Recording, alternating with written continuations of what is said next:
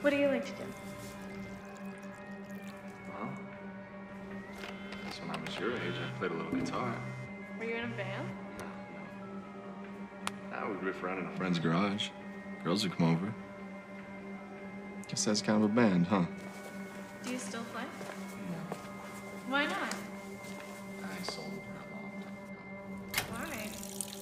I honestly can't remember anymore. Music used to be so much cooler. Everything now is so lame. Yep, dubstep all day, every day. You two friends? Best friends.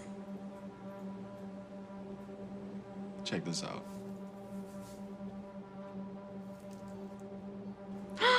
Where did he come from? Oh my gosh, he's so cute.